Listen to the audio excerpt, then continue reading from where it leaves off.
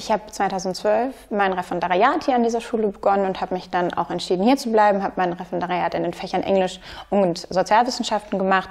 Beziehungsweise Sozialwissenschaften ist halt an der Gesamtschule das Fach Gesellschaftslehre dann.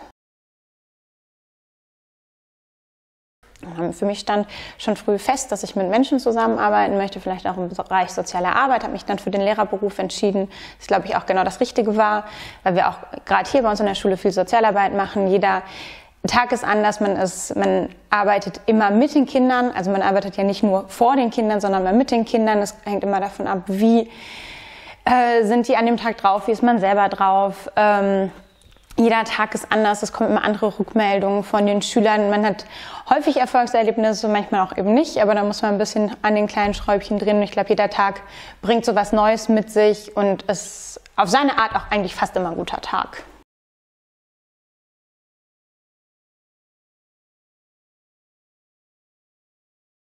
Von Anfang an. Also die äh, Schule, an der ich unterrichte, hier, an der wir uns gerade befinden, ist eine inklusive Schule schon seit ich hier tätig bin. Das heißt, ich habe also außer im Praktikum gar keine Erfahrung an Schulen gemacht, die keinen inklusiven Unterricht haben.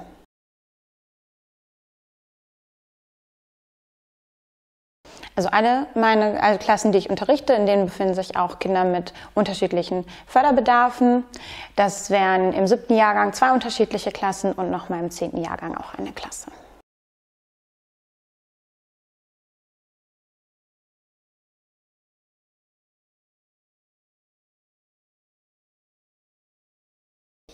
Also der Schnitt hat sich so ein bisschen verändert in den letzten Jahren. Wenn man schaut im Verhältnis in der 10. Klasse, die ich unterrichte, da sind zwei Schüler mit sonderpädagogischem Förderbedarf. Das war auch so ungefähr der Schnitt, als ich hier angefangen habe. In der Klasse, in der ich jetzt auch Klassenlehrerin bin und in der Parallelklasse sind circa vier bis sechs Schüler mit sonderpädagogischem Förderbedarf. Das trifft nicht auf alle Klassen zu. Wir machen das im Moment so, dass die, äh, ja, dass die Klassen A und B die Klassen sind, die besonders als inklusive Klassen arbeiten. Das heißt jetzt nicht, dass in den anderen Klassen keine Schüler mit äh, Förderbedarf unterrichtet werden, aber in den Klassen sind hauptsächlich die Schüler, die Förderbedarf im Bereich Lernen haben oder ähm, im Bereich geistiger Entwicklung gefördert werden. Zusätzlich natürlich auch noch Kinder mit ähm, sozial-emotionalem Schwerpunkt, Förderschwerpunkt. In den anderen Klassen sind es aber eher Schüler mit sozial-emotionalem Förderbedarf.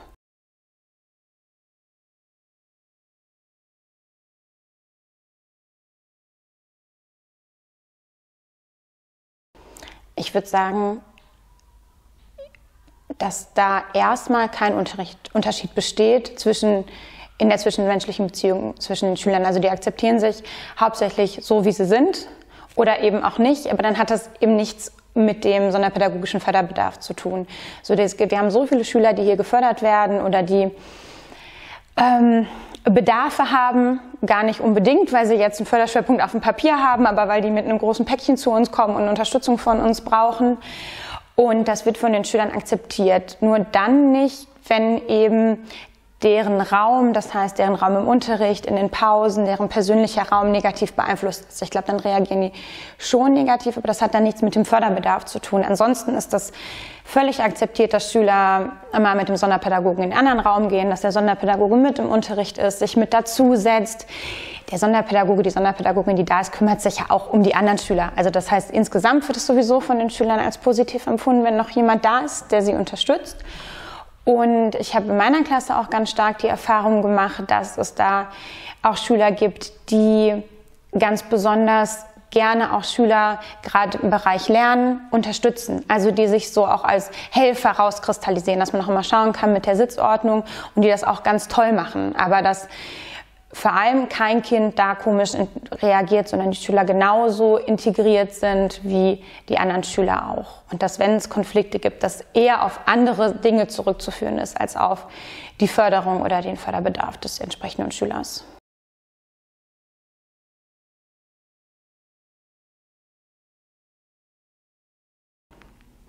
Ich habe ja gerade am Anfang schon gesagt, ich unterrichte ja immer schon im inklusiven Kontext. Das heißt, es ist ja immer schon Bestandteil meiner Arbeit. Und ich denke jetzt nicht, ach, das ist jetzt so was ganz anderes, sondern ich schaue mir eben meinen Unterrichtsgegenstand an, wie man Unterricht eben vorbereitet, welche ähm, Schwierigkeiten können es da geben, wie ist der Komplexitätsgrad, Komplexitätsgrad. Ich schaue mir meine Klasse an, schaue, welche Schüler ich da habe und inwieweit muss ich da differenzieren, muss ich fördern was können manche, viele Kinder schaffen, was nicht, wie viel Bewegung, ne, wie viel.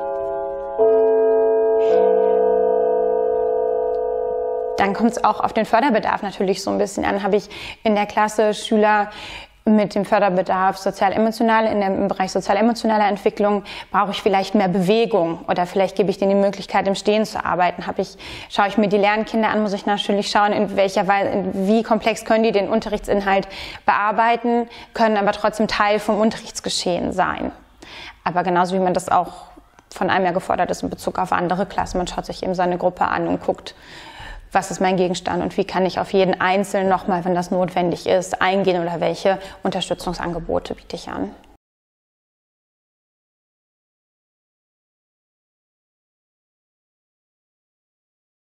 Also ich habe das natürlich auch schon im Referendariat, das ist natürlich eine Herausforderung, weil man da auch im Studium häufig oder zu meiner Zeit auf jeden Fall noch jetzt eigentlich eher gar nicht darauf vorbereitet worden ist, aber wir haben an der Schule hier ganz tolle Sonderpädagogen und ich fand das eigentlich immer schon spannend. Und wir haben sowieso ja eine sehr diverse Schülerschaft hier, um, auf die man vielleicht auch nochmal besonders eingehen muss, die ganz unterschiedliche Bedarfe hat. Und habe das eigentlich eher als äh, positive Bereicherung auch empfunden und hatte viel Unterstützung immer von den ähm, Sonderpädagogen auch hier an der Schule. Und ich hatte zuerst eine Klassenleitung, in der zwar auch Schüler mit sonderpädagogischem Förderbedarf waren, zwei im Bereich ES und wurde dann angesprochen von Schulleitung, ob ich zusammen mit meinem jetzigen Co-Klassenlehrer eine Klasse übernehmen möchte, in der auch Schüler mit dem Förderschwerpunkt Lernen unterrichtet werden. Und wir haben uns dann entschieden, dass das war so der erste Durchgang, dass wir das dann mit der, wir sind die A und die B und so ein bisschen über Kreuz unterrichten in der Parallelklasse, in der ähm, A, da ist der, auch ein Förderkollege ist dort Klassenlehrer, so dass wir da super gut zusammenarbeiten können. Also es ist in Absprache passiert, aber auch dadurch, dass ich mich da schon während meiner Tätigkeit vorher auch sehr für interessiert habe und mich in dem Bereich engagiert habe und versucht habe, auch weiterzubilden, weil das ist nicht so einfach, sich im Bereich von Förderung zu verschiedenen Förderschwerpunkten weiterzubilden, da was zu finden.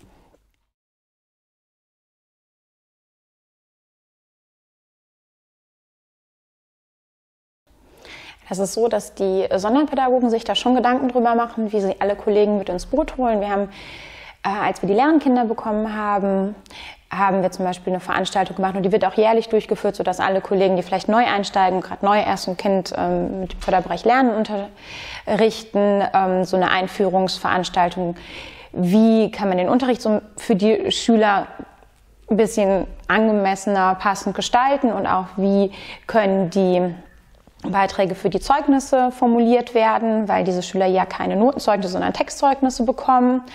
Es hat auch eine Veranstaltung, die hat eine Sonderpädagogin von uns beim Schulamt organisiert. Es war eine, in zwei Teilen eine Fortbildung. Ich glaube zum Förderschwerpunkt ES. Ich konnte daran leider nicht teilnehmen. Was es halt leider wenig bis gar nicht gibt, sind Fortbildungen, die von verschiedenen ähm, anderen Institutionen durchgeführt werden, sei es jetzt von der GEW, von VBE, von den Kompetenzteams. So, da gibt es meiner Meinung nach fast gar keine Angebote, die man wahrnehmen kann. Was schon wichtig wäre, weil es ja fast keine oder gar keine Kollegen gibt, die das in ihrem Studium schon mitbekommen haben. Also niemand von den Regelschulkollegen ähm, hatte ein Modul zum Förderschwerpunkt Lernen oder zum Förderschwerpunkt DS oder zum Förderschwerpunkt Hören und man kann sich da gut einarbeiten auf jeden Fall. Und die, die unsere Förderschulkollegen sind da auch immer mit einem offenen Ohr dabei und geben einem Tipps und geben einem Materialien, aber ich glaube, das ist schon von der Professionalität was anderes, ob man immer einen guten Ratschlag bekommt, versucht sich einzulesen, sich einzufinden, Dinge auszuprobieren, als wenn man einmal eine Fortbildung oder was von einem Dozenten, dessen Fach das wirklich ist, was mitbekommt, so im Rahmen der Professionalität auch.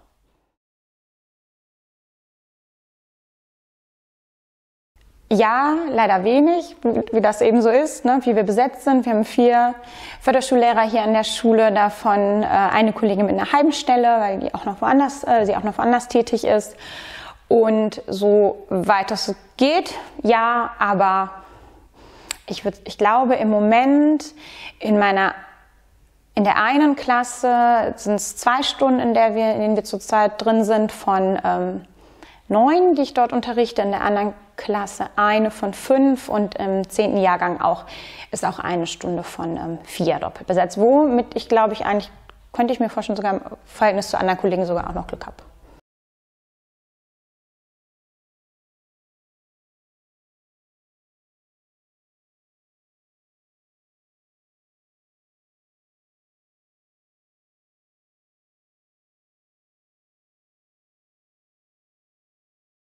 Wir haben ähm, vier Sonderpädagogen mit dreieinhalb Stellen fest bei uns an der Schule, also die auch äh, fest zu unserer Schule versetzt sind, womit was super für uns ist.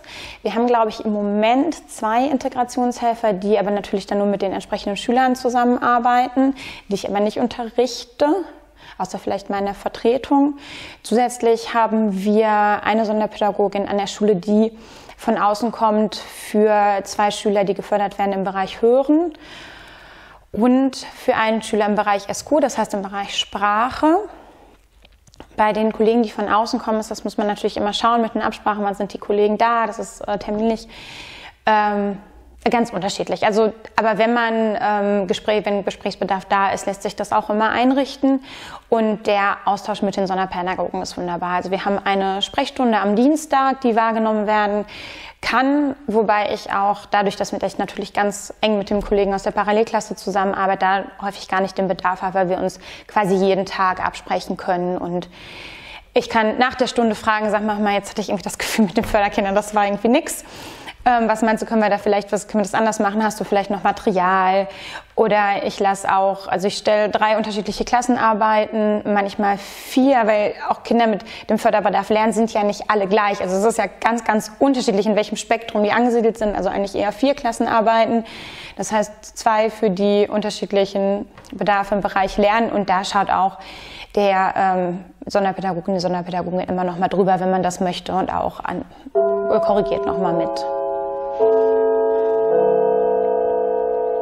Oder auch bei der Bewertung, Schüler im Bereich Lernen bekommen ja keine Noten. Das, das können wir auch immer noch mal absprechen, dass da unsere, Bewert dann unsere Beurteilungsbeiträge, dass das in Ordnung ist und auch dem, dem Kind entspricht.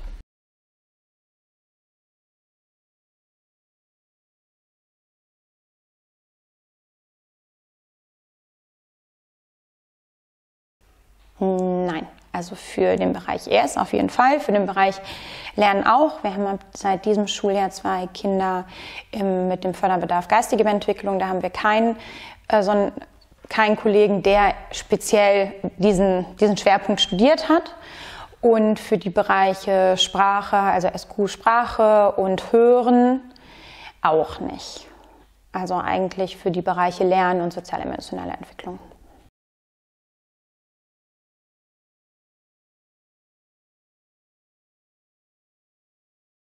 Also barrierefrei ist die Schule nicht.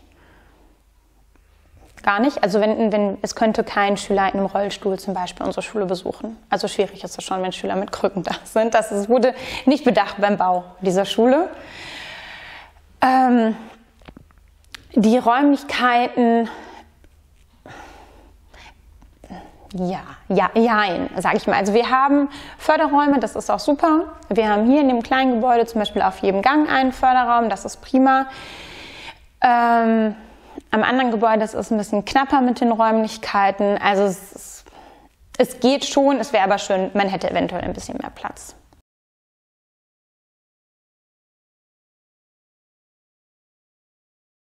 Äh, die Sonderpädagogen haben ganz viel Materialien. Die haben die auch in ihrem Raum und die sind da verschlossen, was auch absolut richtig ist, aber man kann die Sonderpädagogen jederzeit ansprechen und im Zweifel hat man am gleichen Tag oder am nächsten Tag noch Materialien.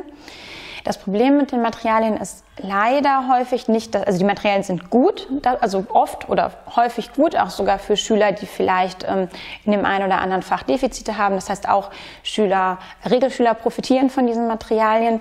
Was häufig nicht so gut ist, ist, dass die zum Beispiel im Bereich Englisch gibt es ja das Lehrbuch und wir machen eben die Themen. Und es gibt da zwar Differenzierungsmaterial, aber gerade für die Schüler im Bereich Lernen hm, ist das häufig noch zu schwer. Das heißt, man kann sich zwar Materialien organisieren, an denen die Schüler auch, Schüler auch gut arbeiten können, mit denen die auch Erfolge erreichen, Lernzuwachs erreichen.